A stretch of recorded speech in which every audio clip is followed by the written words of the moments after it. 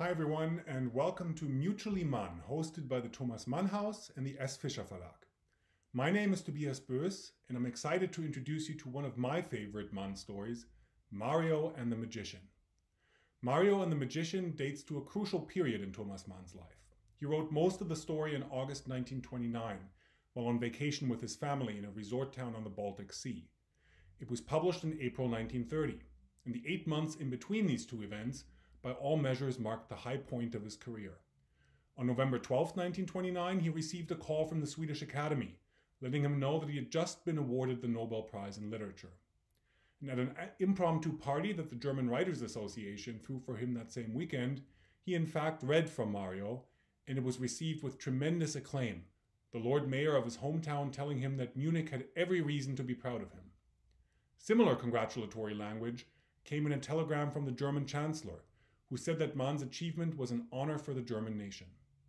That same November, his publisher began delivery of a new People's Edition of Mann's great novel Buddenbrooks, which would go on to sell 950,000 copies, the second largest print run of any German novel in history, eclipsed, eclipsed only by All Quiet on the Western Front the previous year. So things were going very well for Mann. He had fame, he had cultural prestige, and he had money part of which he used to buy a vacation home very close to the resort town where he had written Mario. Now, things in Germany as a whole were not going so well in 1929 and 1930, however. These are the years during which the Nazis grew from a fringe group into a formidable force at the national level. They emerged as the second strongest party from the Reichstag elections of September 1929, and public discourse in Germany was shifting as well. When Mann took to the stage a month after the elections in order to repudiate Nazism, Nazi stormtroopers disrupted the proceedings, and the famous author had to flee through a side door. And when Mann in early 1933, just weeks before Hitler's seizure of power, dared to offer some minor criticisms of the composer Richard Wagner in a public lecture, some of the same local dignitaries who had celebrated him around the time that Mario was completed declared him to be a stain on the honor of the Richard Wagner city, Munich.